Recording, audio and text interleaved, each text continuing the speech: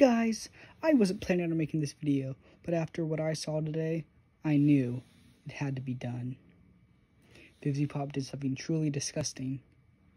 She did something that, as a Latino, she shouldn't have done. I mean, Latina, she should not have done. What she did was frankly disgusting, and she has to take it back at this moment.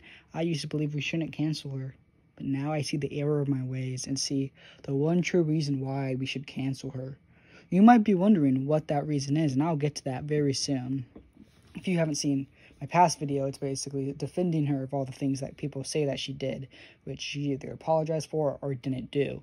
So I'm like, oh, wow, that's pretty messed up that they would just do that. But for this reason, we need to do it. This is very important. Like, like what she said is frankly disgusting. And we have to report it and we have to cancel her she doesn't like spicy food.